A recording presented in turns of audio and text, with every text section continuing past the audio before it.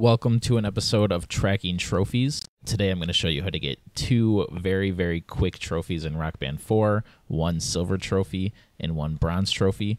The silver trophy you're going to be getting is called Don't Shred on Me. Using only the solo buttons, hit 100% of the notes in a scripted guitar solo on Expert.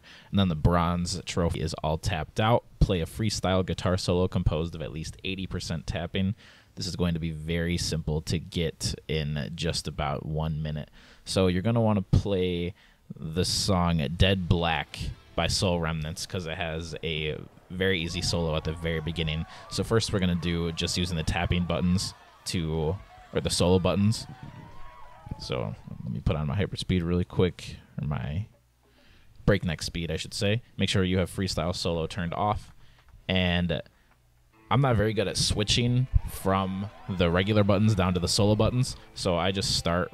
I just have my hands down on the solo buttons for this whole intro too. It doesn't matter if you hit all these notes or anything. It's just so you don't have to make the really quick switch once the solo starts. And you can strum all the notes. I wasn't sure about that. If you I was thinking maybe you would have to, since it says only using the solo buttons, you could you have to like tap them and you can't use the strum bar, but you can strum every every note or just use the hammer-ons or however you want to do it that way. If you do use the strum bar, it'll work just fine, and then your trophy should pop right there. You don't even have to finish the song.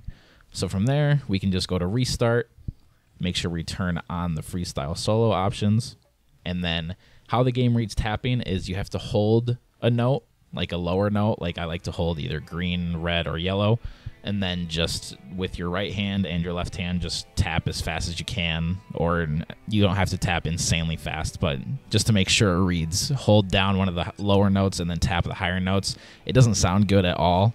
As you can hear right now, it I mean it sounds okay, but it doesn't fit the song at all. But it's just right at the beginning, so I think this is the best way to do it.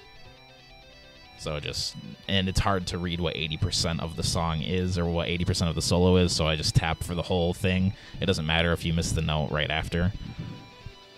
And there you go. The trophy should pop right there. So that's it. One quick silver trophy and one quick bronze trophy all in just about a minute and a half. So thank you very much. And for more trophy tips and a weekly video game podcast, please subscribe right here on Get Some Games.